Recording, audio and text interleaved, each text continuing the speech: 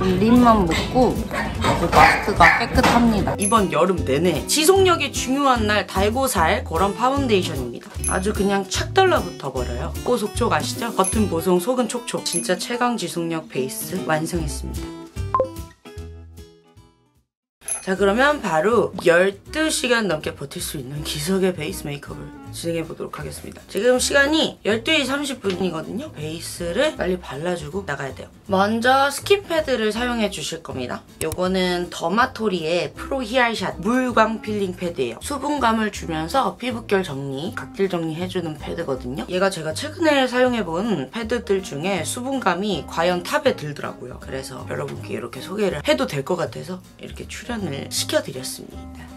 저 사실 이런 네모난 패드들 되게 좋아하거든요. 엣지를 사용해서 이런 데 이런 데 이렇게 깎아줄 수도 있고 둥근 거보다 오히려 이런, 이런 게 편할 때가 있어.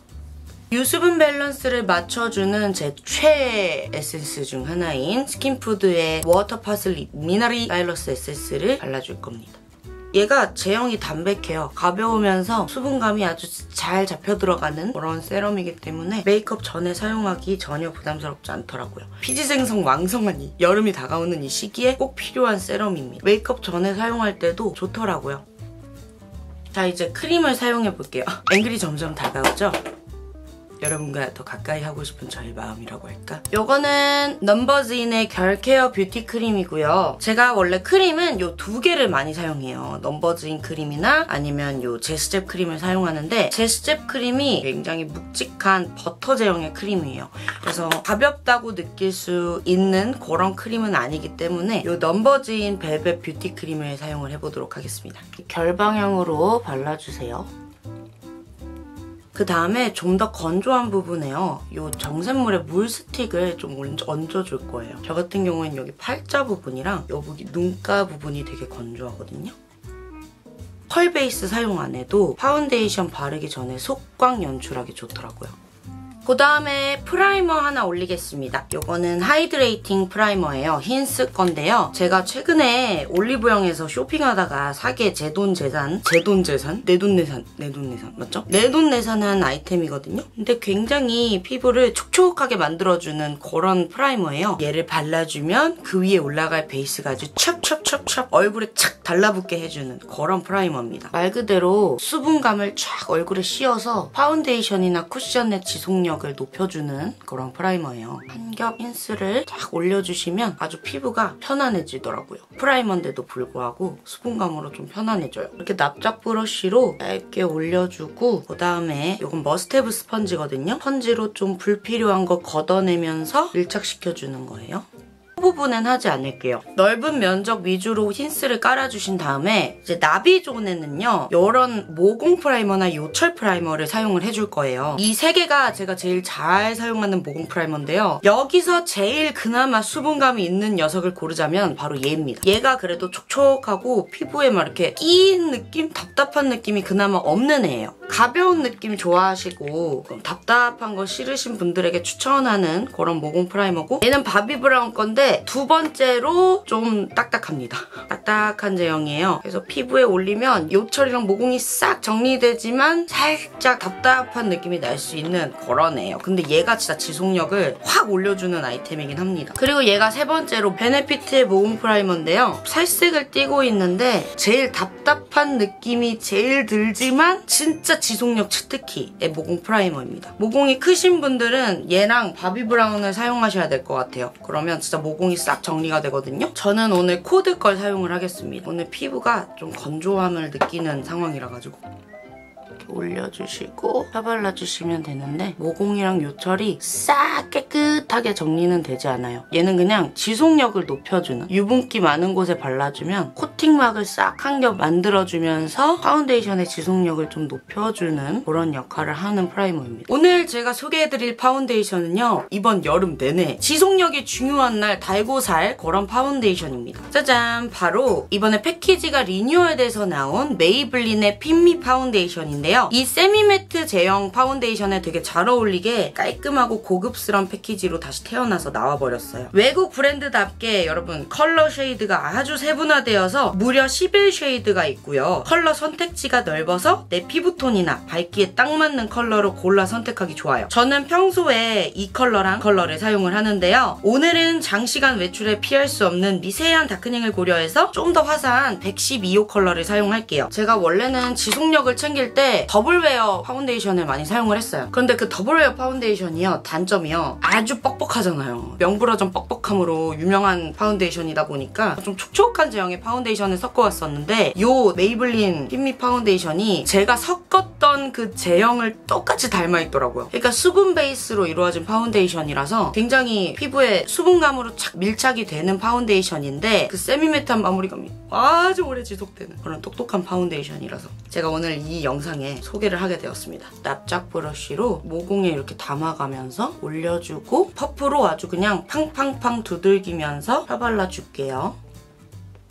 보시면 아시겠지만 이 파운데이션의 진짜 큰 장점은 되게 가볍다는 거예요, 여러분. 피부에 아주 밀착이 착 되어버리는 그런 파운데이션이란 말이죠. 아주 그냥 착 달라붙어 버려요. 게다가 우리 미우분들이 아주 번뜩하실 그런 파운데이션인 이유는 얘가 바로 oil free formula입니다. 그러다 보니까 트러블 피부가 사용하기 좋아요. 피부에 오래오래 올리고 있어도 아주 덜 답답하고 트러블을 미연에나마 방지해줄 수 있는 그런 파운데이션입니다. 그래서 사실 무겁고 입자 큰 파운데이션 같은 경우엔 다가오는 여름에 사용하기 되게 부담스럽잖아요. 지속력 좋다고 해도. 이 메이블린은 아주 얇게 올라가고 기름이 없는 파운데이션이다 보니까 오래 올려놓고 돌아다녀도 괜찮겠더라고요.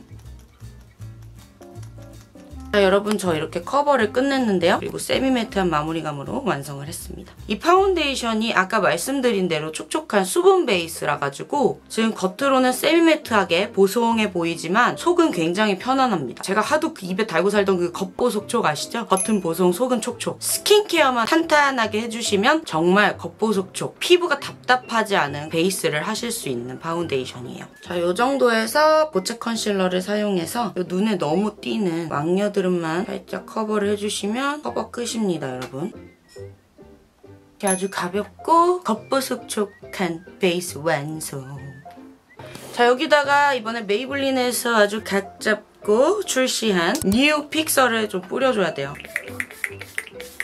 음, 요래야지 아주 완성이 된 느낌이거든요. 이 스프레이가 제가 사용한 Fit Me 파운데이션이랑 엄청 찰떡궁합이에요. 제가 사용을 해봤을 때 fixer를 안 뿌렸을 때와 뿌렸을 때 차이가 난다는 걸 경험을 했고요. 게다가 non-comedogenic이에요. 그 모공 막지 않는 기술인 거 제가 몇 번이나 제 채널에서 중요하다고 non-comedogenic 꼭 보셔야 된다고 제가 몇 번이나 말씀드렸잖아요. 네, 이게 그 fixer가 non-comedogenic이더라고요. 그래서 사실 oil-free formula 파운데이션이랑 이 non-comedo genic fixer랑 이렇게 사용을 해주시면 우리 트러블 있는 미우들도 굉장히 부담 없게 사용을 할 수 있다고 저는 생각을 했습니다. 여기 분사력이요. 아주 얼굴에 골고루 뿌려지거든요. 라마가 침 뱉는 듯한 그런 스프레이와는 전혀 차원이 달라요. 자 여기다가 이제 투명 파우더만 살짝 사용을 해줄게요. 이런 마스크 닿는 부분은 투명 파우더가 진짜 필수거든요.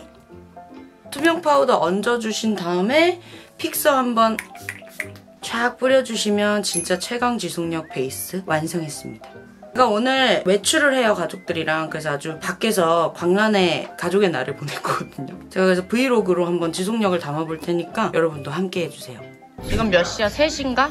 45분. 2시 45분 밥 먹으러 왔어요 쌈밥집이에요 쌈밥집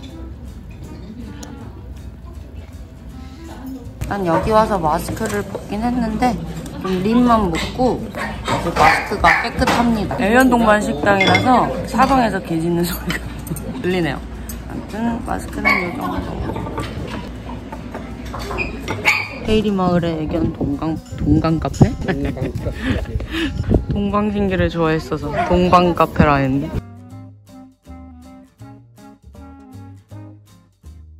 오늘은 나의 dog day야. 사방에 개가 있어. 날씨가 너무 좋아요. 그리고 파운데이션도 너무 잘 버텨주고 있어. 이게 뭐야? 낙지 샤브샤브 그리고. 오이. 당근 가온이 안녕 여러분 지금 시간은 밤 10시 12분이고 10시간 정도가 지난 후고요 감자 일로 와봐 감자도 같이 집에 잘 왔습니다. 감자. 외출 재밌었어? 뭐라고? 아, 내려달라고? 알았어.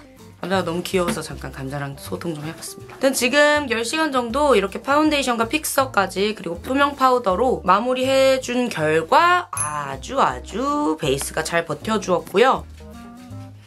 제가 정말 뜨거운 거 먹고 음주도 해서 얼굴에 열도 올라왔고 여 밖에 계속 돌아다니느라 땀도 많이 났는데 이 정도면 정말 훌륭한 편 아닌가요? 그리고 전체적으로는 살짝 번들거리는 정도로 마무리가 되었거든요. 이 정도는 딱 수정 화장하기 괜찮은 정도예요. 막 너무 무너져 내려 있으면 오히려 수정 화장할 때 떡이 되는 경우도 있기 때문에 수정 화장을 못하는 경우도 있는데 이 정도면 쿠션으로 두들기면 이 기름기 사라지고 좀 말끔해지는 정도인 것 같습니다. 그리고 darkening 같은 경우에는 제가 처음에 딱 파운데이션 올리고 마무리했을 때 그때보다는 좀 화사한 톤이 사라졌지만 그 화사한 느낌이 사라진 정도인 것 같아요. 딱 그 정도. 그냥 darkening 너무 심하지 않고 까매지지도 않고 막 회색이 되지도 않고 이 정도로 마무리가 되었고요. 아주 전체적으로 멀쩡한 편입니다.